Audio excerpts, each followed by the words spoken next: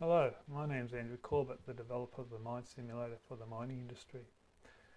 This is the second video in a series of videos about TMS. In this video, I'm going to present the Mine Simulator's input-output spreadsheet as well as the Mine Simulator simulation engine which has been developed in Arena.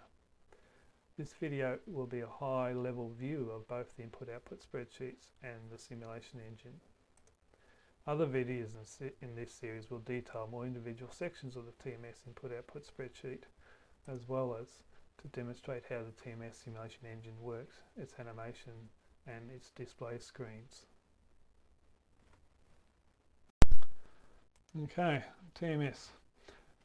As I said before, TMS, you put all your inputs into an Excel spreadsheet, which all mining engineers know how to operate. Uh, and it guides you through what you've got to put in there anyway. But so you specify in this spreadsheet whether you're simulating a mine or a rail or a mine and a rail or mine and a port, a port, just only a port or whatever it is. And you specify all the things about that particular operation. So in a mining operation, you define the, the haul road network. Um, you define which fleet of trucks you're using, maybe uh, how you want to operate that fleet of trucks, you know, how you define your shift changes, your crib breaks, you define the weather, you define your seasons, you define you know, all these other things which about your operation as such. And TMS, which is developed in Arena, reads that virtually that information and then simulates what is in that spreadsheet. I use Arena uh, for several reasons. Um, it's quite a good system. The industry has accepted it, mining industry accepted Arena as a good simulation tool. There are others out there. But the advantage I like about Arena is that um, you can take, I've taken it, I can use the high level constructs they've developed or I can go down to virtually a programming language, which I've done to develop my own constructs. So Arena was mainly designed around the manufacturing industry. It's called discrete dynamic simulation. The discrete part is it's designed about making fridges or cars or you know the general manufacturing industry. You know, in the mine industry we have discrete elements like trucks and loaders and ships and whatever trains, but we also do bulk materials handling, a lot of bulk materials handling. So I've been able to build constructs in Arena such that it handles bulk materials handling. So for example, a conveyor TMS knows that when you, the rate of material you are loading it, putting onto a conveyor. So it knows kind of its physical profile. But it also knows up to 20 grade attributes about that material going to onto that conveyor, you know, gold grade or silica grade or recovery or whatever it may be, yield. And as the material, you may start putting material onto that conveyor at 25,000 tonnes per hour, but because somewhere else in your process it's slowed down, you may slowly go from 25 tonnes per hour as time goes by to 900 tonnes per hour. So the profile on the conveyor will just slowly change and the grade of the material in there may change. And so ARENA or TMS, so it knows along the whole length of your conveyor what the continuous change in, in material profile or rate and also attributes of the material on the conveyor. So then when it comes off the conveyor, TMS knows that it's coming off at a certain rate and these are the attributes of the material coming off. So it can you know, handle or track grade and tons right through the whole system quite um, precisely. It also tracks material attributes through run-of-mine stockpiles through, you know, when you, you dump one load into your truck dump and then another load follows it, it knows how that material is blending within the truck dump and then how it's being presented to you your coal washery plant or whatever it is. So it has that sort of detail. And that's been enabled because Arena enables me to go down to virtually programming language to put that sort of detail, to build those sort of constructs to enable TMS to do the detailed information. So when you run TMS, it produces a whole pile of spreadsheets, oh, sorry, outputs, which you then load back into the same spreadsheet you use to have the inputs. So you have one, for one particular run of Arena, you have one spreadsheet has the inputs and the outputs. So if you, for say simple, something simple, you run a mine which has 10 trucks. Um, so you run it, 10 trucks, and then you have one spreadsheet with the inputs and outputs for running a simulation of 10 trucks. So then you take a copy of this spreadsheet and you add another truck in there. So it's got 11 trucks. So then you run it through Arena and it comes back and loads all the outputs into that. So you have you end up two spreadsheets, one with 10 trucks, one with 11 trucks. So you can repeat, repeat that until you get, I don't know, 15, 20 trucks or something. So then you have a whole series of spreadsheets. So then you can go into these spreadsheets with another spreadsheet and interrogate those spreadsheets. So you can do your little, you can do your charts of production versus size of the truck fleet. But you can also, because the simulation has all these outputs, you can look at, you know, as we increase the truck fleet, how does, you know, we increase the time trucks are waiting at the diggers or increase the time trucks are waiting at the dump or this is when you start to do the analysis as you increase the truck fleet, what is happening in your process. So then you can say if we're increasing our time at the truck dump, maybe we look at how we run our run of mine operation now, how many how we time we do we queue trucks up at the truck dump as opposed to then you know sending a truck to the run of mine. And then how do we reclaim off the run of mine stockpiles and change how you actually do that to say well we've got more trucks in the system. We're losing so many hours because they're just queuing at the dump. Let's change our run of mine stacking and reclaim uh, processes and see if we can get more tons through the system by doing that. So this is how you do some very simple you know, process analysis work with Arena uh, TMS. And also, as I probably mentioned before, each of the trucks, diggers, LHDs all have a specification file for that particular type of equipment. So these are all so in the, the spreadsheet, like trucks, you can it just pulls, you just click on, and it pulls down a menu. and It shows you all your different types of trucks, or all the different types of specification files you have for trucks, and then you can just select whichever trucks you want. So you can have mixed fleets and all this sort of stuff in the in the spreadsheet. So that's generally how TMS works. Um, reasonably simple, but does a lot of stuff. so this is um, just some shots of the TMS input spreadsheet. So this is the main menu virtually. So it's just, you just click on these different options to go to other sub-menus and or other data things enables you to specify different things. So the general one is just exactly that simulation description. You just you can put in if you want to a description. You know this is a simulation with X number of trucks and whatever it may be. Just as a you know, description of the simulation. And you also specify, you know, how long you're running it for. You're running it for a year or six months, or so how many iterations. So you're running it for a year and you're running it 40 times. So you're running the same year 40 times. And you, the reporting will report on you know, each iteration, how things have changed in that iteration. Uh, general parameters, these are just things like, you know, you can, you may have a simulation of a mine and a port, you can here you could just say turn off the port. I just want to simulate the mine, in which case you know the simulation runs a little bit faster because it's not doing the port, and because you don't want the constraints of the port impacting on your mine. You want to see what the mine can actually do without the port being a constraint. So these are what those sorts of things are. And reporting, um, there's a whole pile of standard reports in TMS. Here you can specify which reports you want to be turned on and you also specify if you want to report on just a particular type of equipment, like you want a haul cycle report just on this particular truck, or you can specify uh, the timing of the reporting. Like there's an operational log that tells you tons gone in and out of each piece of fixed plant, each conveyor, each stockpile, etc. And you can report on that, say, every hour, or you can report on that every minute if you want, or you can just report on that every 12 hours, end of every shift, or something like that. Uh, distributions are they just things that in the simulation you can specify things as you know constants or you can specify them as distributions so the simulation will not have a uh, things will vary and that's how you do distributions um, you can link TMS to other versions of TMS running on the same network we'll, I'll come back to this later on and these are the status codes these are things you set up saying you know, this is status codes when a truck is loading, when a truck is dumping, when it's waiting for the loader, when it's uh, being delayed on the haul cycle or whatever it may be. You just set up the status codes. Um, this is the operational data, mainly applied to mining operations. Um, the mine blocks is exactly that, the mine plan, the ore body model, how you want to mine the blocks. If you don't tell the simulation anything else, it will just sequentially mine through those mine blocks, um, you know, applying mining campaigns or whatever else. But then but there's other things you can do to control how the simulation mines through those mine blocks. So it may skip mine blocks and go on to other ones because of whatever reason.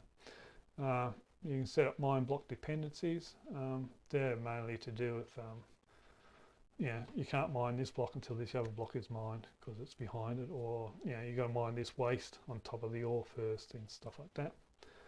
Uh, you can set up your, just your material types, what you want to call them, um, just names to give to different material types. Uh, you can set up blending of materials. Um, so in the coal industry, maybe you want to blend different types of ash. Is okay to develop to blend this type of ash and this type of ash on this stockpile because you know it's a different product which we sell. Uh, you can set up your seasons. These are things like your wet season, dry season, summer, winter, or whatever. Um, because some things happen differently in the winter months, especially like in Canada or something like that compared to the summer months. Uh, even like mines, bauxite mine, in the winter, uh, summer months when they get a lot more rain, they have a lot more delays of trucks getting bogged or whatever it may be. So these are seasonal things which over parts in the simulation you can define. Um, you can define shift and shift events. These are things like how you're going to do shift change, uh, breaks, um, fatigue breaks sometimes and things like that. And you know, you specify things like, well, at the start of day shift, when the guy goes out, he does a walk around his truck for five minutes before he takes off. Those sorts of events. These are the kind of the regular events that happen with every shift. Uh, you can set up shift rosters. Um, some mines have a different roster here to this. You know, they may run two 12-hour shifts on this part of the operation, but you know, uh, two eight-hour shifts on this operation and not, not at the weekend or something. So they get different rosters you can apply to different parts of the operation. Um, operators and crews, let's a, you just define operators, you know, Joe Smith, and he has certain skills. You know, he, he's a really good haul truck operator, but he's a lousy um, digger operator. So you can put in these skill levels and look at, you know, if we just have the really good truck operators operating and the, the really good loader operators, or we, you know, mix it about, what impact that has on your operation.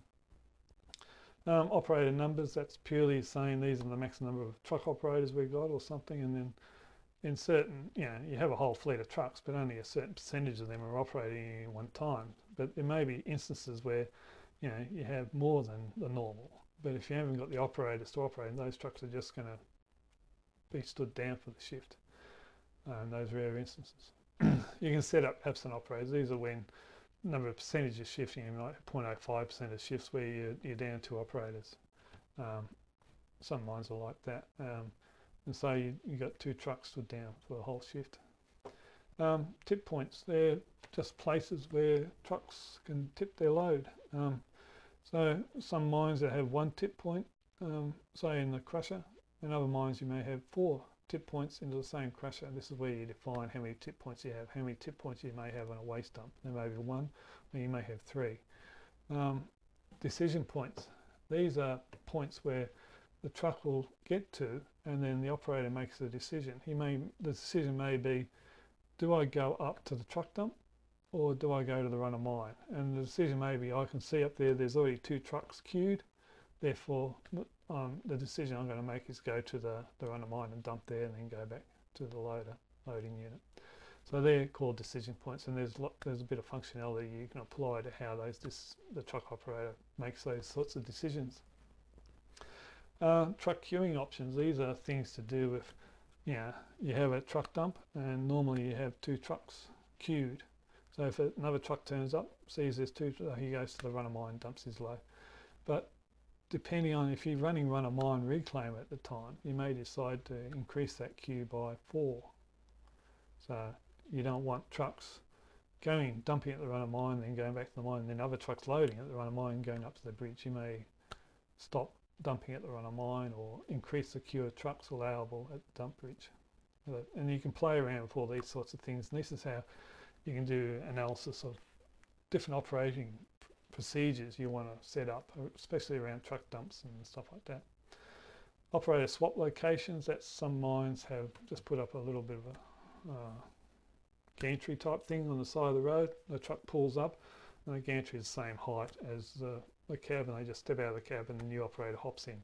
So you can look at setting how many you want and where you want to put these around the mine.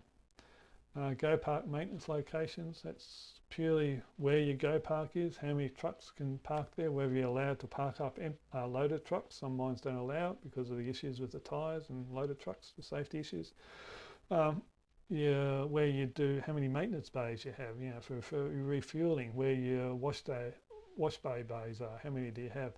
Also your workshop, how many workshop bays you have, how many bays you have for trucks, how many trucks for load if you have front end loaders, um, how many bays do you have for uh, auxiliary equipment, all that sort of stuff. So this all impacts on the operation. You know, if you've got five trucks being you know maintained, breakdowns maintained uh, for whatever reason, planned maintenance, you know, a truck wants going for planned maintenance, he's due for it, he just has to stay out in the circuit.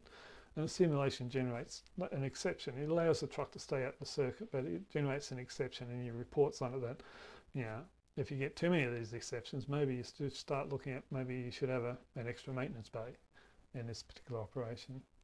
Um, mining campaigns, you can set up mining different material types. You can say I'm going to mine this type A material type A for Monday, Tuesday, Wednesday, and material type B on Thursday, Friday, and material type C on the weekend or something. Well, you may say I'm going to mine material, I'm going to mine 100,000 tonnes of material A and then 200,000 tonnes of material B and just go backwards and forwards. Or you can set it up that, you know, when the product stockpile containing this type of material gets below a certain level, I'm going to trigger a mining campaign. I'm going to move my loaders, you know, especially operations at front end loaders type units, they can move them around. And, yeah, we're going to move into this particular material so we can top up our product stockpiles before the next ship arrives. That's going to take that material away. Uh, the simulation monitors uh, broken rock, um, so it can kind of generate when it's going to have, need to do blasting. And there's a whole pile of parameters in there, like the area of influence around the blast. So the simulation actually blocks off haul roads using the area of influence and puts barricades across the road so trucks can come up there and they just park and wait for the end of to the blast to be finished. You know, it moves a shovel away from the blast face, all those sorts of times. It has uh, information about um, reblasting, if you want to call it that. I've forgotten the terminology off the top of my head. Um, yeah, so some blasts go through and they get cleared and everything's back into production. Others say, no, we're going to have to re redo this blast or what have you. so there's a lot of information on blasting there. And so it tracks, so you get the influence of blasting on your operations.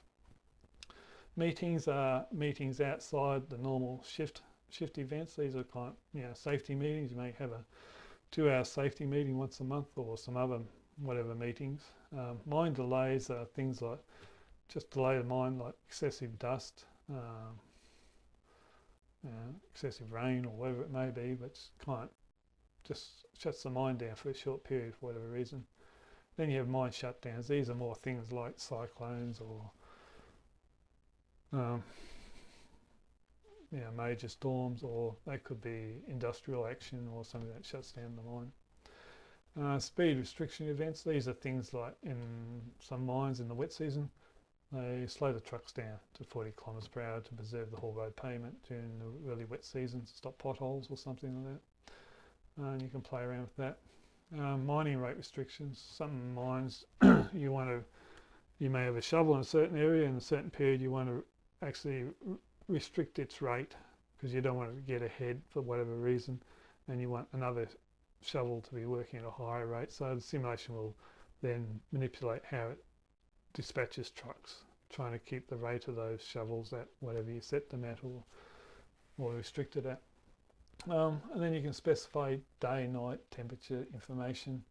Um, like a lot of these things you don't have to, but if you want to, the functionality is there. Day and night, usually some ports only operate during daylight hours. Um, temperature, you can specify temperature on an hourly basis throughout the year or something if you want. And that is used in TKPH calculation and stuff and you can specify rain events storms and all these sorts of things that may impact on your operation. Now, the haulage network for trucks. So you, in the simulation, you, you specify a three-dimensional haul road network. It's not just, it's the roads between the, the loader unit and the dumps, waste dumps or crushers or whatever run a mine stockpile, but it's also all the roads to the the workshops, the service bays, uh, the water truck fill points and all this sort of stuff, those haul roads as well. And they just generally uh, specified as strings of points. And you just feed that, specify them here, and then there's an option here, the simulation or this spreadsheet will then manipulate, interrogate that information and generate a haul road network for that information, looking for intersections and all this sort of stuff. And and then it, it puts it in, develops what called haulage nodes. These are all the different points along your haulage network and haulage segments. That's kind of a straight line segment between haulage nodes. So these haulways, these haulage segments, they could be a kilometre long if it's just a straight section of haul road that's a kilometre long with just flat or it doesn't change.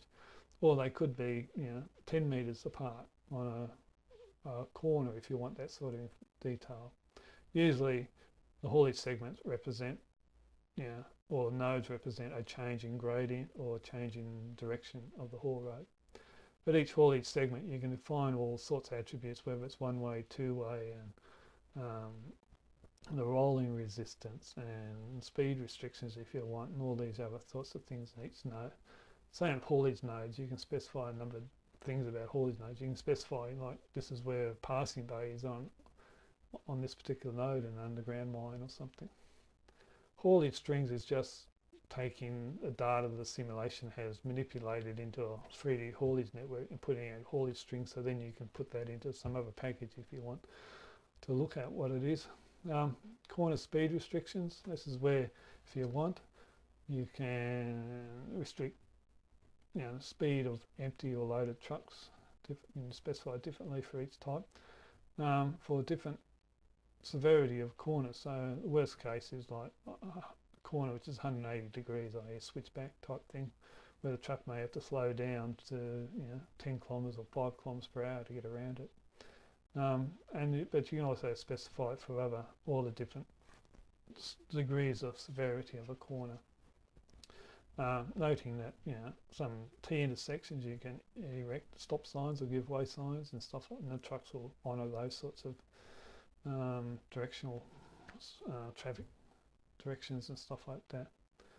Um, all these network options, this is just where you can specify a whole pile of things to interrogate the haulage network before you use it in the simulation. It'll actually find issues with the haulage network that you know you, you know you can't get from one point to another point in the haulage network because uh, just hasn't found the intersection somewhere or something.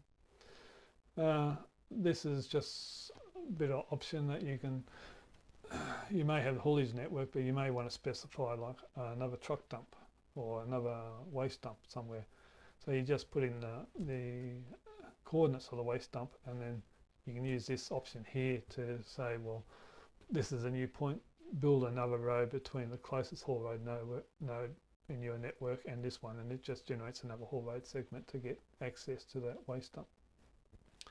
This is just a simple thing to calculate distance between road nodes for some reason. Yeah, often, yeah, just sometimes you want to just interrogate it. Some mines have can specify the haulage network in eastings and northings, but they don't have elevations. So this just enables you to add elevations using LiDAR data or whatever other information you have about elevations so you can get the three move a two-dimensional haul road into a three-dimensional haul road network, which the simulation prefers. And this is just the whole trace, whole cycle trace you can set up. I want to trace between this haul road node and this. Every time a truck travels from this point to this point, I want to do a, a trace of it, um, telling me what the truck the truck's doing, how what speed it's doing, and its forces on it, and all this the rimpull forces and retard forces and all that sort of stuff. Hey, so I can check it. Then you come into mobile equipment, so you can specify trucks, water carts, shovels, diggers, uh, graders, etc. Um, you can specify some general information about mobile equipment. This is just general information about separation, maybe some part of it's like separation. You can specify separation of equipment based on, you know, when they're over, going over a certain speed, the sep minimum separation is this. When they're going under this speed, the minimum separation is a certain distance or something like that. Uh, you can specify the road rules, you know, give way to the left, give way to the right, you know, um, empty trucks give way to loaded trucks or whatever you want to, however you want to do. Um, you can allocate different types of material to, uh, different types of equipment to specific material types if you want. Um, you know, uh, you can do group assignments, operational fleet size, that's just how big some fleets are. Support equipment, that's all know, things uh, you may use that other users of the haul road. Um, more, it comes more into play with um, underground mines where you have blasting trucks or whatever it is going up and down the, the decline. Um, you specify haul trucks, so once again you just go in there and you can press down a pull down menu and specify what truck you want and you can specify you can just have just that or you can do all sorts of specifications about where it where it gets maintained. Does it when it does its servicing does it go to a service point or do you use a service truck or um, out in the mine? Um, you know, how you know you're going can this truck be used for only doing rejects from a coal prep plant? Or does this truck be used can be used for run of mine reclaim or not and all this sorts of stuff? So you, you say well this truck only can be used in waste not ore and all this sort of stuff. And specify truck breaks uh, these are usually due to fatigue. Um, some mines have fatigue breaks. Then you can set up operational delays and standby delays. These are the simulation generates a lot of operational standby delays automatically because it can. Uh, these are ones that generally that are man-made that the simulation just doesn't know about and they're quite specific to the specific operation. Uh, you can specify haul truck carryback so the, uh, in like some mines in the wet season or whatever the, the carryback just sticks there and just kind of slowly builds up and once it gets to a certain level the truck is sent to a wash bay and the tray is washed out and off it goes again. Uh, you can specify your water trucks, um, how big the tanks are, what type of trucks they are and stuff, and also how you dispatch water trucks. Um, the simulation takes in things like rain and stuff, so I won't dispatch a water truck during the rain or whatever, but um, during the, when it's not raining, you can specify how you want to dispatch water, water carts. Um, similarly, you can find what shovels or diggers or front-end loaders you have in your simulation, and once again, you can assign all the attributes about you know, like as a shovel, therefore when we're doing plan maintenance, we move it to a specific area to, to do that plan maintenance. Um, front end loaders, you may say, well, you know, we do maintenance out in the mine, or do we bring it back to the workshops and stuff like that. Load haul dumps and scoops, depending on where you come from, know, just for underground mines. Same sort of thing, just specifications on them. And once again, for your diggers or your load haul dumps, you can specify your operational standby delays. These are the ones the simulation, once again, cannot generate automatically. Um, you can set up your load and truck capa capabilities. Now, some shovels just won't aren't used to load smaller trucks or whatever it may be. Um, so you can do truck ca capability or restrictions so things don't happen. Uh, payloads and load times, you can put uh, apply uh, variations if you want. Some mines, even though the simulation client generates load times, as I kind of discussed before, some mines say, well, what is the impact if we can reduce the load time by 10%? So in here you can specify load times uh, in a factor of say 0.9 or something, so it reduces the load time and see what impact that has on the operation. This is where you can specify bucket fill factor depending on face height. Some mines like bauxite mines where they're mining you know, thin layers of material, you know, the fill factor falls down when uh, the face height gets below you know, two meters or something, whatever it may be, depending on the loading unit. Um, uh, you can have set up fleets of equipment and you can set up how many op diggers. You may have a larger fleet of diggers than you require, so you can set up, you know, I've got five diggers, but I really only have four operational at any one time. So if there's five available, one of them will be stood down, those sorts of things.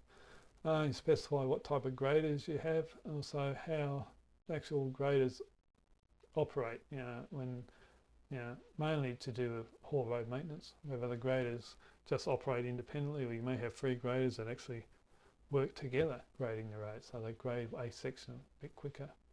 And also you specify how you dispatch grader. Um, the simulation monitors haul road usage by the weight of the trucks travelling on the haul road and then you can actually dispatch graders based on you know, the usage of the haul road.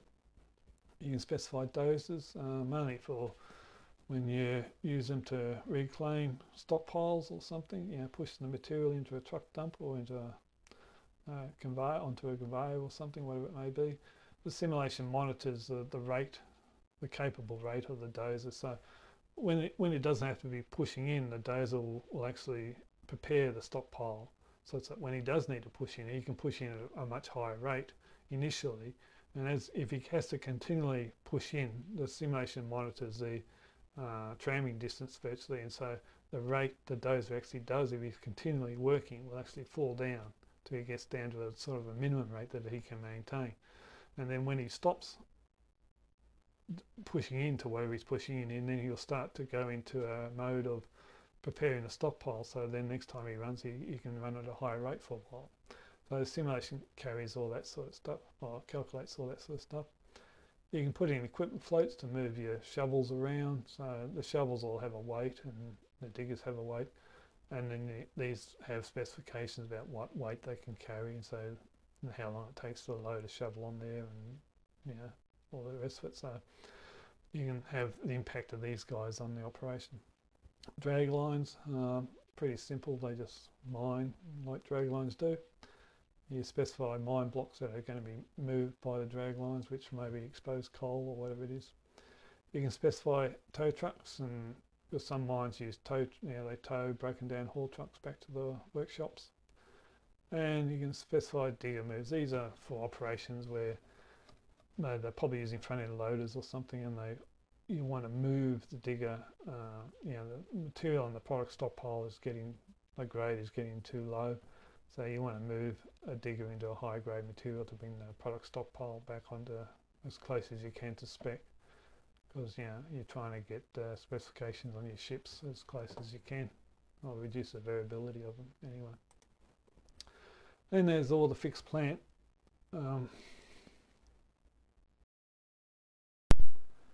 fixed plant, you can see we specify plan maintenance schedules. So this can be you know, number of hours, how, how often you take plant down for plan maintenance, and you can also specify breakdown profiles, time between and time to repair profiles. And then each of these you can apply to individual pieces of fixed plant or groups of fixed plant. So you may have a plan maintenance schedule that plan maintenance schedule one you apply to some a certain number of these conveyors and then plan maintenance schedule two you apply to a, another set of conveyors. So you have one side of your plant working when you at all times or depending on the simula uh, the configuration of the, the operation. Yes set up fixed plant locations. These are just the actual physical location of the plant. Uh, so for conveyors you you specify the XYZ or easting northing elevation of the one end of the conveyor and the other end of the conveyor. So then the simulation knows how long the conveyor is. And he knows what the speed of the conveyor is, so he knows how long the material's on the conveyor. But and it also shows up on uh, the graphic side when you run TMS in Arena. Uh, you can set up fixed plant relationships. That means there's a whole pile of different things you can do, saying, you know, we only run this conveyor when this other conveyor is running. We only do this. We set the flop gate to direct to this stockpile when this is happening and all this sort of stuff.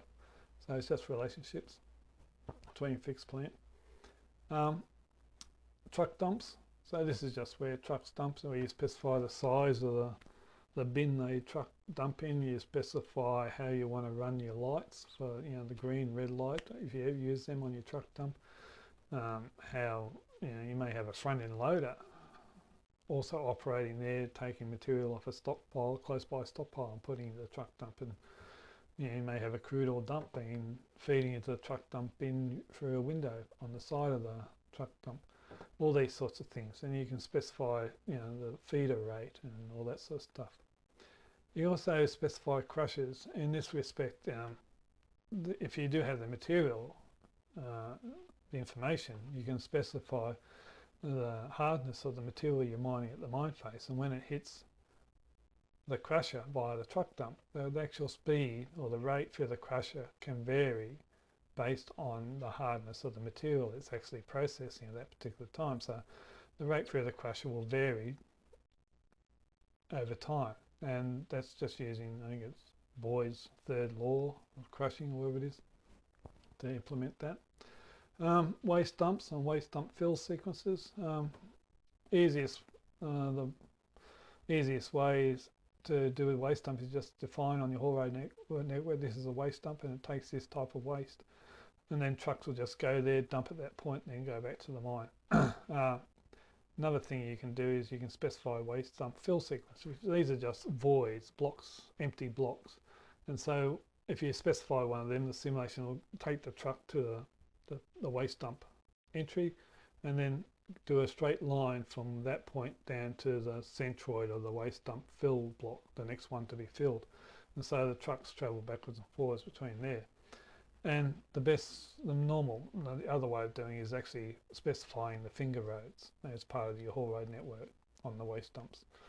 And therefore the simulation will use those finger roads to work out how to get from the waste dump entry to the next waste dump fill block. So it gives a more realistic cycle time for waste dumps as the waste dump fills up over, over the, you know, the simulation period. Uh, you specify your conveyors, that's the start and end point of your conveyor, the rate, the simulation knows the length, you specify the rate, you specify whether it's a variable speed conveyor and things like that. and you specify transfer chutes, these are usually just you know, between conveyors. You usually only specify transfer chutes if you're having issues with them and you want to introduce a breakdown regime to your chutes. Um, so you want to look at if you improve the chutes, what impact that has on your on your process. Um, once, uh, one thing, all these sorts of things, you can just, like conveyors, you have a conveyor, then you say, this conveyor now feeds a stockpile, it may feed a transfer chute, or it may feed a bin or something. So you can link all these things together different ways if you want to without, you know, it's quite easy to set up a whole different fixed plant structure for the mine if you want to. It only takes like 10 minutes to move everything around and come up with a new structure or process. Um, bins, uh, once again, they're just bins that you fill up and then empty out. Um, uh, in the bins, you can also have weigh bins, which you know feed onto ore passes and all sorry, hoisting shafts. Other types of bins, you can have distribution bins, which you just feed in, and you know, it's just distributed if you want to different conveyor systems or what have you. Uh, specify your processing plants, uh, whether it's a washing plant or whatever it is, um, and you also can specify here how what attribute of your mine face material you want to use to work out whether you've got wash product or rejects or oversized, undersized product, how the, the process plant is going to you know, generate what you want. And then, then in here you can specify, well, my rejects go here onto this conveyor and my product goes onto this conveyor, etc., etc. you can specify ore passes for underground mines, hoisting shafts, and also nominate which levels they're working to and stuff like that. Uh, specify stockpiles. You can specify product stockpiles, run of mine stockpiles, uh, leaching stockpiles, uh, crude oil dumps, etc., etc. And also there's lots of attributes about stockpiles, like uh, run of mine stockpile, you can specify when this stockpile is reclaimed. Like you can say, I want to reclaim from this stockpile when I'm mining the same sort of material in the stockpile, but the rate of material out of the mine has fallen below 4,000 tonnes per hour. Therefore, I'll start up run of mine reclaim from this stockpile. Um, and there's a whole pile of different ways you can trigger off run of mine reclaim from a um, run a mine stockpile.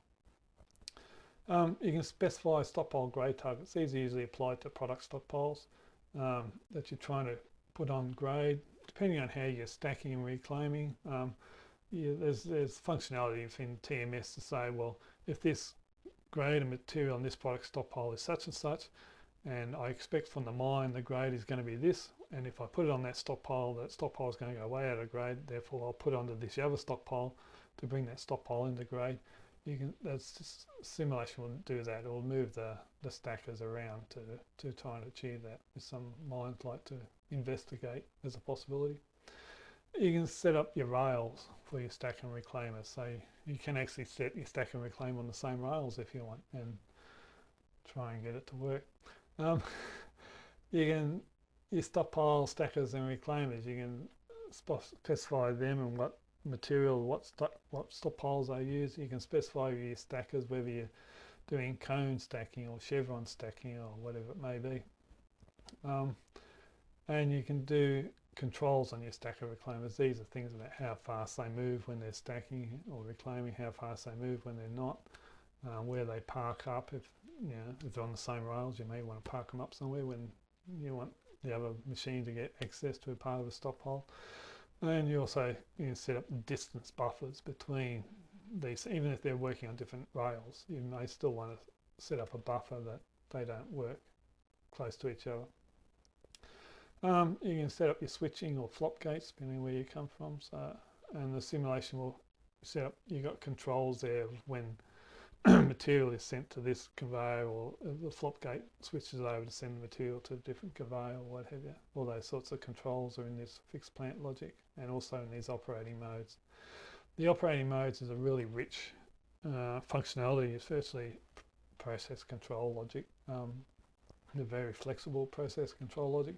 So you can control, it's used a lot in some uh, coal mines and stuff too, because they've got so many different types of material, coal types, and they all go in different places and stuff. So th this in this so you can set up how you want to run what is important to you. That when I'm running this type of coal, it's going to go here. Um, yeah, it's going to have to go through the wash plant or it can go to a domestic stockpile or whatever it is, or this type of coal, actually, we don't have to wash, we just send it straight to the product stockpile and for, ready for railing or something. And it's all those sorts of different operating modes that the, the mine may operate, which changes over, over time.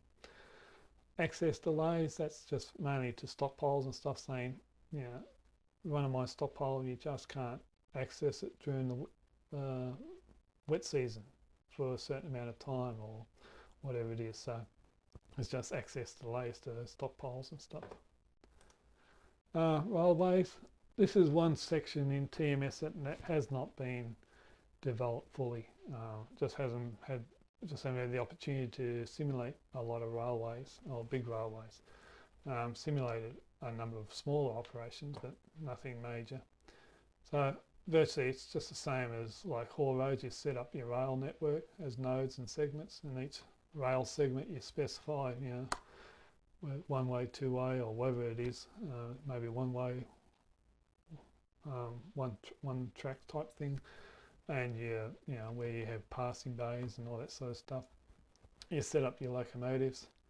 Um, yeah how many locomotives you have on the train? You set up the trains which is like you specify which locomotives are on the train. There's also the number of wagons and how big the wagons are and all that sort of stuff.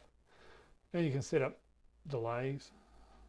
You know, it's just things that simulation can't generate for trains, whatever they may be. and you set up where your load stations are and how they operate and your dump stations and how they operate. And then you can set up, yes, train station delays if you want. Um, so this and you can set up, uh, you, know, you can keep the locomotives attached to the rake of wagons or in some mines they detach the the, wag, the, the locomotive and attach and take it over and attach to a, another rake and use it that way and they have um, systems that pull the wagon, the rake through the, the train load or dump station or whatever.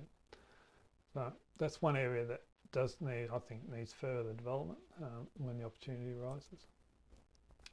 Uh, ports and ships being applied to quite, this is really well defined. Um, there's some general information uh, about ports and ships, you know, separation of ships and stuff like that. You can specify the tides. This is just, you know, time, time where you have low, low and high tides and the simulation puts a, a sine curve through it to work out tide height in between the high and low tides. It also has the functionality to calculate. You may give it the tide at the at the mouth of the river, and the simulation has the ability to calculate when when it's high tide at the mouth, when it actually is high tide somewhere up the river, and also what the height of that tide will be up the river.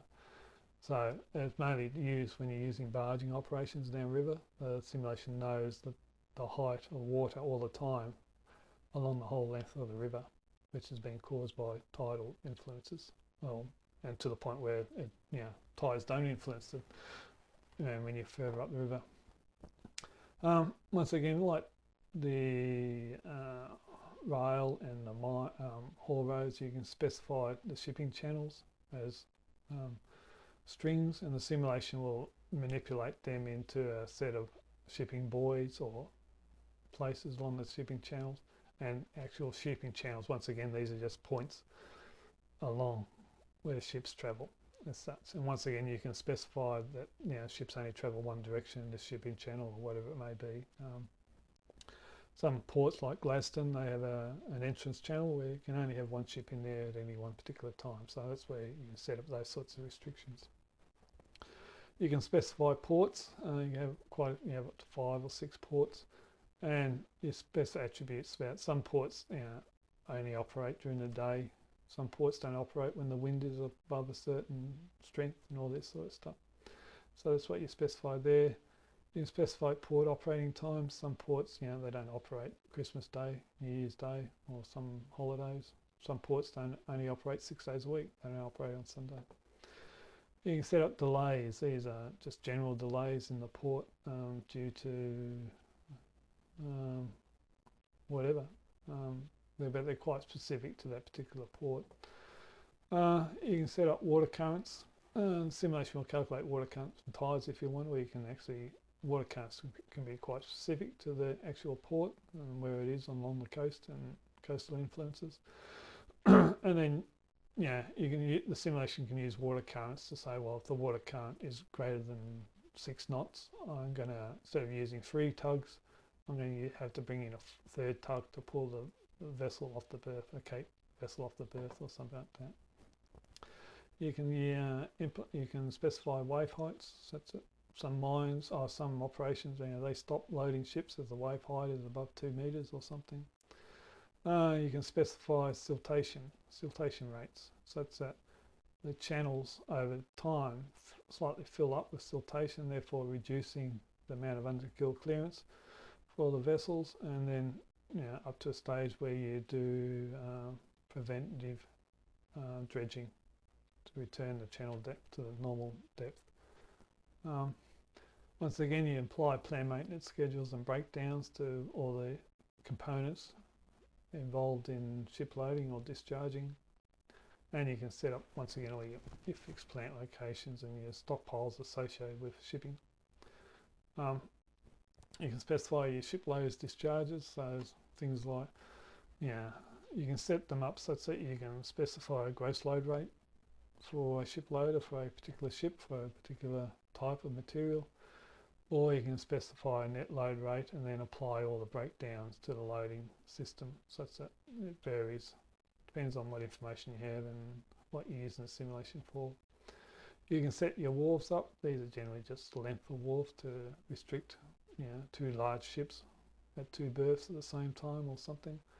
And you can set up, then you set up your berths and you can set up your berths as, you know, this is a berth just for mooring tugs or a berth for unloading loading bauxite vessels and or whatever it may be and or this is a type of berth that is only used for mooring push-pull boats in a barging operation or whatever it may be. Um, so you just set up your berths on your wharves, whatever they may be. Um, don't worry about that. Updating ships just updates all your ships that you have as specification files so that you can see them in the simulation. you can set up different reporting groups on your ships. So you may want to report all your Cape-sized vessels, or you may just want to report all your vessels that load a tip, specific type of material. So you can set up your reporting groups. You can set up ship delays, uh, which occur wherever. Uh, there's different ways you can specify ship delays. And then you can, at the moment, set up to five different fleets of vessels. And within them, you can set up sub-fleets of vessels, up to five different sub-fleets within the five fleets. Um, the simulation works, the logic in the simulation as far as ships go is that um, each fleet of ship is, a, is usually assigned to a customer uh, or a, if you're importing stuff to a supplier. The reason being is that the supplier or the customer generally wants to keep their stocks to a certain level and so they generally want you know, consistent shipping between the two with amount you know flexibility amount variation and stuff so that's how this, the fleets are set up mainly based on customer or supplier. And it's being verified at a number of ports so the way the simulation is generating ship arrivals using that sort of logic is very extremely close to actual really virtually spot on.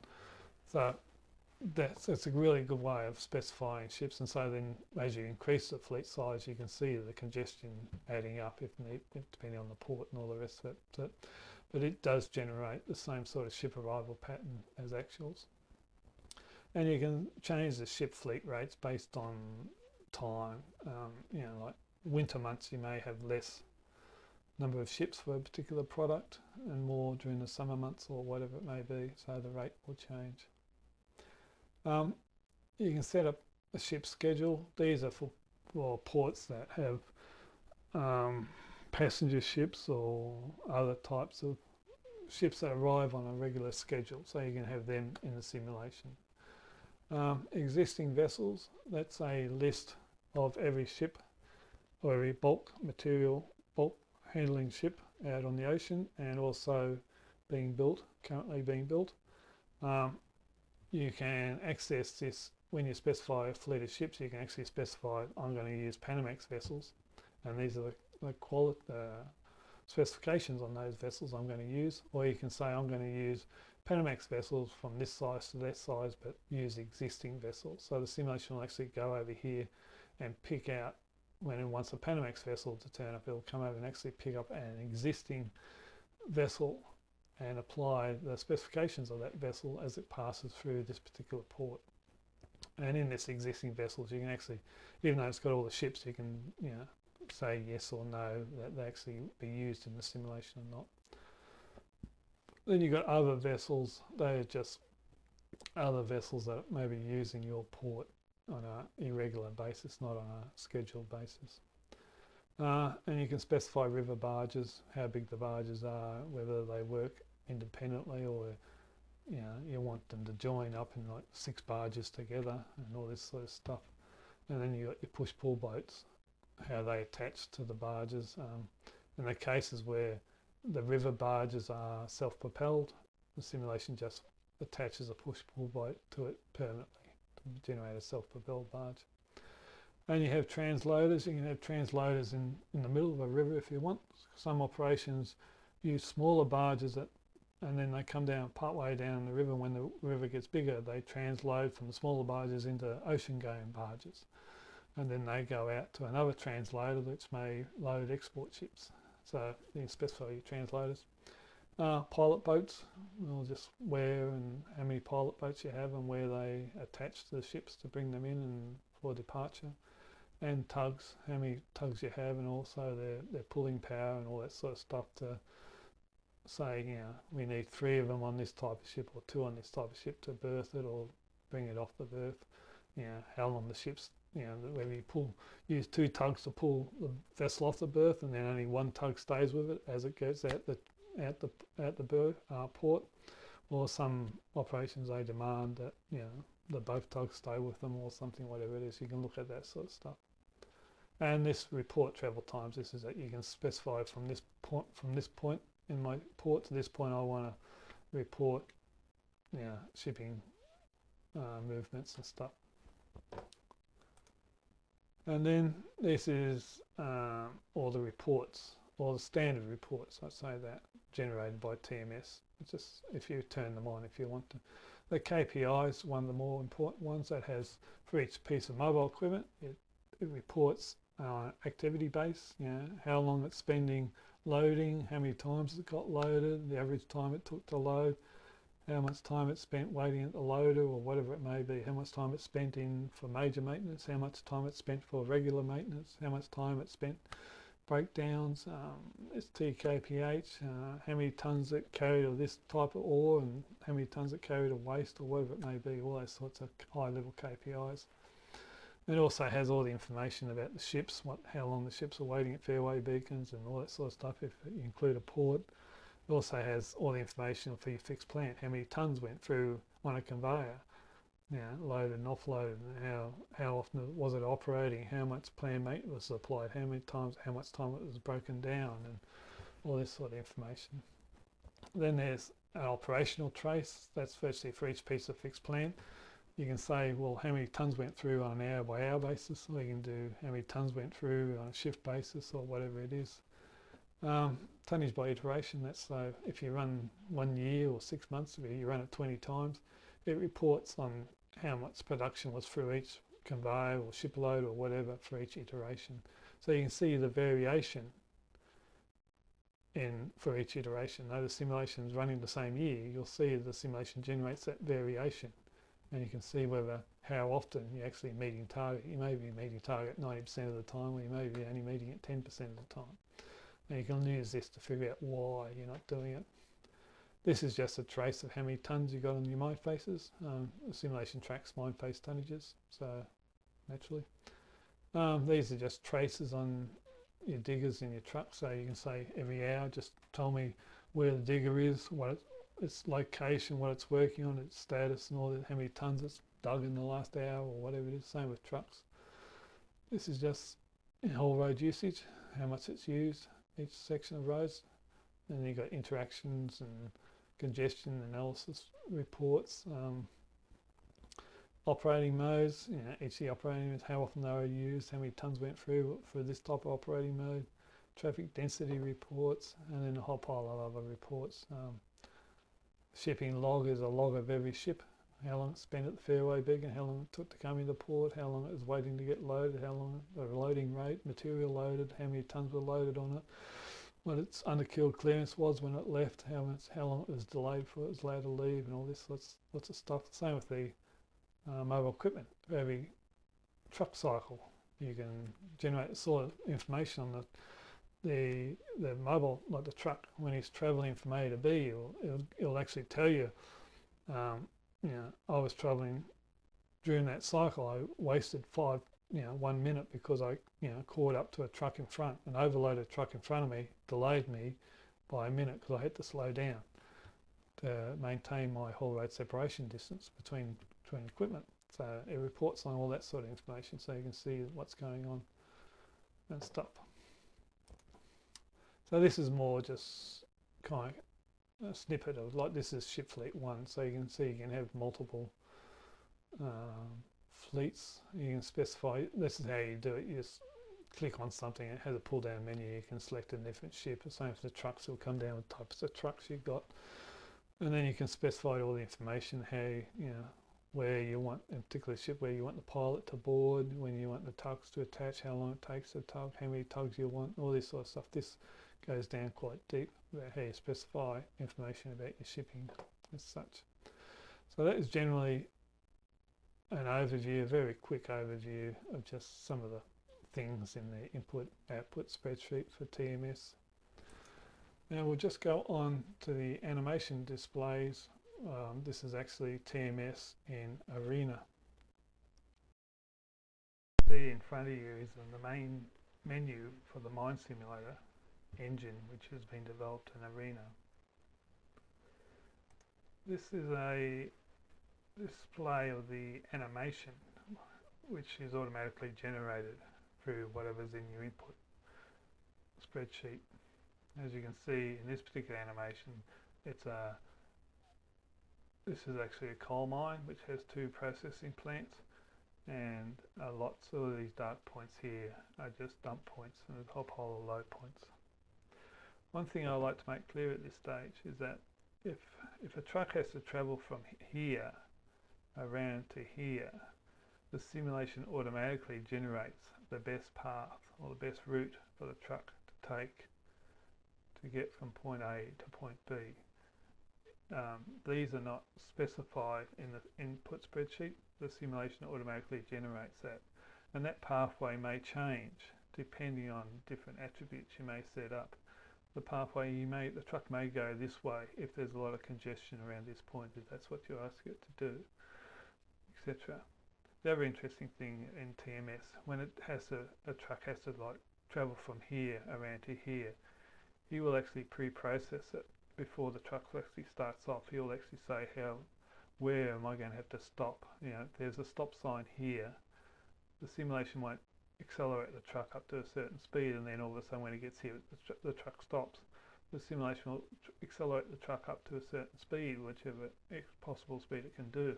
And it'll know it's got to stop here. So somewhere else further back it actually starts applying the acceleration to the truck so the truck slows down as normal to that particular point. The simulation also has all the uh, um, rules in there. So a truck coming up to here, he may actually slow down and stop because there's other trucks travelling through that intersection. Or he may you may come to there and he may slow down and virtually stop because he can see a truck coming up here and he's not sure which way that truck is actually going to turn. So um, in that case, there may be a stop sign here, there may be a give way sign or something like that, which help control those trucks. If there is no stop signs or whatever, uh, TMS applies just common sense logic and the truck will actually come up here and if, if there was no stop or give way signs, the truck would come up and virtually slow down to a stop because you can see a truck came up here and once that truck turns around goes down there then he'll take off when it's all clear to do so. So all those sorts of logic is already built into TMS. So in this display with automatically as you can see it'll display haul roads, railways and shipping and all the other different locations that may show up. This is a more zoomed in view so here you can just see some trucks travelling around, the different coloured trucks, they may be different attributes, they may be different model trucks or what have you. So these are all the waste dumps. Once again in TMS you can nominate um, how if a loaded, if a truck gets loaded somewhere and it's carrying waste, which actual waste dumps is it, is it sent to as such? You can specify different ways of specifying waste dumps based on distance. You know, some of the trucks may go to a close waste dump, and may, what some trucks may go to a, truck, a waste dump further away to spread the waste dump around, the waste around. So here you can see like a truck's maybe tipping into a tip bay, and this is, you know, goes down to these raw stockpiles in this case, and then gets through, through a coal prep plant and into um, product stockpiles and it got the rejects and so you got the rejects trucks. Once again the simulation that how you do the rejects is up to you. You can specify a particular truck or trucks that just are dedicated to taking the rejects down to a particular waste dump or waste dump area or you can just say you know whenever the waste the bin gets to a certain level assign the next truck that dumps or the closest empty truck to go and pick up the rejects kind of dispatch the truck to pick up rejects. Once again, that's all specified in the input-output spreadsheet. So this is just a, a view of uh, truck display. So you can just go up and down all the trucks in your fleet and look at what they're doing. So this is when the simulation is running, this is continually being updated. So that's just some of the information, the, identification of the truck, what type of truck it is, its normal payload, which digger it's been assigned to, and its current distance to wherever it's going to dump. So this truck's loaded, so he's, he's about 1.6 kilometres away from his dump, and the operator skill level here is 1. So this is where his current location on the haul road, and this is where his destination is. He's going to this particular dump. And right now, when this, when I took a picture of this screen, the truck was doing 13, 13 kilometres per hour in second gear and he's, he's actually loaded with 150 tonnes of overburden. Considering his payload's 180, obviously the density of this material is kind of a bit lighter than coal or something, so he's only be able to fit 150 tonnes in there based on the volume of his tray.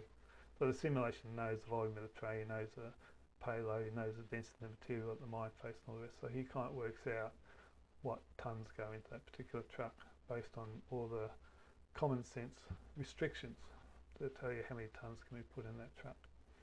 And normally in this particular simulation there's all these, because it's coal mine, there's all these ash contents and stuff because we're mining, uh, what we're mining, waste or overburden. Uh, that this particular mine we don't have you know these sorts of coal qualities. So at this particular time, this is pretty early on in the simulation. He's done three loads per shift. He's, this is his TKPH, etc. Also, this is the simulations tracking SMU hours on each piece of equipment, and he also has the maintenance, so he knows when he's going in for maintenance and how long it's going to go for. But once again, it's common sense logic. And once he's dumped his load, if he's maintenance due, he gets on the radio and sees there's actually room in the maintenance bay for him. If there isn't, he continues going on his doing his circuit, um, and he logs a, an exception. And then you, after the simulation, you can look at the ex exceptions. If you get a lot of exceptions to do, if you know, can't get into maintenance bay, well, you may consider putting another maintenance bay into the simulation. Uh, once again, next service, uh, refueling, um, 24 hours, um, how long it's going to take when it gets close to the buy. His uh, breakdowns, when his next breakdown, how long it's going to be. Um, this one's not, because uh, it's early on, hasn't been assigned a breakdown yet. This is his current fuel tank level, how, how full it is, and his current consumption based on this payload and speed, etc. Once again, you can bring in in trucks for servicing based on every 24 hours or whatever it may be, or you can use fuel tank levels. And once it gets down to a certain level, the truck goes into the service bay to refuel. If he can't get in there, he may remain on circuit, and then there's an emergency fuel tank level.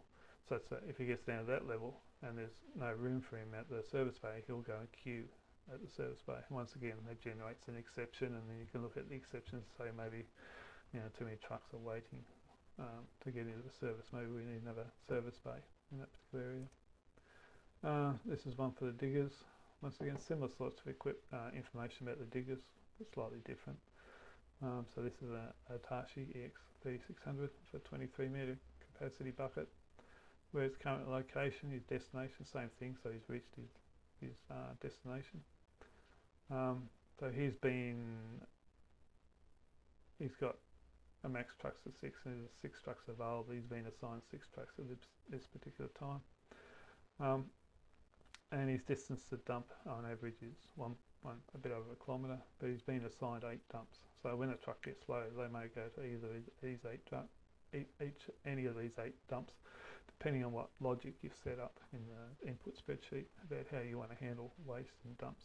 Like his mining partings, the current block he's working has got roughly 50,000 tonnes. Once again, there's no grade associated with it. Um, right now, he's running, he's got ignition on, he's loading a truck. He's got two trucks in his queue. Every time to load a truck, a number of loads per shift he's doing. Remember, this is early on. There's actually four diggers in partings at this particular time. And once again, the, on the loaders or digging units, yeah, monitoring SMU hours when they're due for maintenance and all this sort of stuff, as well as when they're due in service and breakdowns and operational delays and stuff. So this is just a quick view of uh, fixed plant. So here you can just scroll up and down all your fixed plant. In this case, your um, mine stockpiles, your processing plants, and all your conveyors and stuff. That's just a general what's going into your plant um, tons per hour, what the current level is, and then coming out of it as such. Um, oh, that's actually a truck dump. So this is several truck dumps here. So we've got seven, 2000 going in, whatever the level's at, and 1400 is coming out. Um, so that's, and then this goes on to this conveyor, I think it is. So it feeds onto that conveyor. Um, this down here is the same sort of information but more detailed. So this is uh, fixed plant number 27 which is a conveyor and on this conveyor being fed onto this conveyor or the average grade of material on this conveyor right now is there's 50% north yield or 50% yield of this ash etc. The qualities of the we decided to track through the simulation and on this conveyor there's 1400 tonnes per hour going off. There's currently 102 tonnes on the conveyor and there's 1400 tonnes going off. So as you can see the, the, the the level and the capacity is the same. So the, the conveyor is full, it's carrying coal. And this is the speed of the conveyor and the length, and therefore the material is on this for 4.4 minutes. The material uh, conveyor is running as such. So that's the end of the uh, video on a high level view of the uh, TMS input-output spreadsheet as well as the TMS engine. Um, please, if you've got further interest, please look at the other videos which will go down to a lot more detail about TMS, its input and the simulation engine. Okay, thank you.